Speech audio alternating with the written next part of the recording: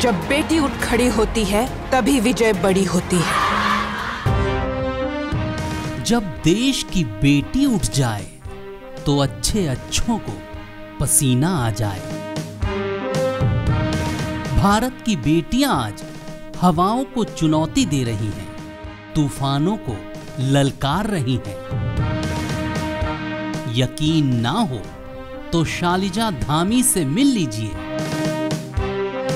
Wing commander Shaliza Dhami.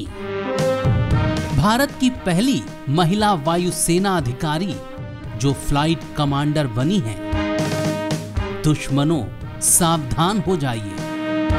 पंद्रह सालों से वायुसेना में रहते हुए देश की सेवा करने वाली शालिजा धामी ने हिंडन एयरबेस में चेतक हेलीकॉप्टर यूनिट में फ़्लाइट कमांडर का जिम्मा संभाल लिया है।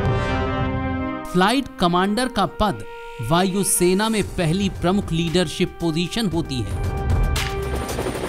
नौ साल के बच्चे की माँ शालिजा पंजाब के लुधियाना में पली बड़ी। वो बचपन से ही पायलट बनने का सपना देखती थी। अपने पंद्रह सालों के करियर में उन्होंने चेतक और चीता जैसे हेलीकॉप्टर उड़ाए हैं। इन दोनों हेलीकॉप्टर्स के लिए वो इंडियन एयरफोर्स की पहली महिला फ्लाइंग इंस्ट्रक्टर भी हैं।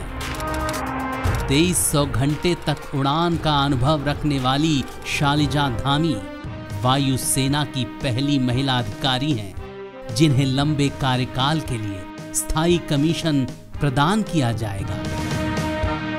ये सिर्फ़ शालिजा की ही बेजोड़ उपलब्धि नहीं है, बल्कि इससे महिलाओं के लिए वायुसेना में आगे बढ़ने का रास्ता साफ़ हो गया है।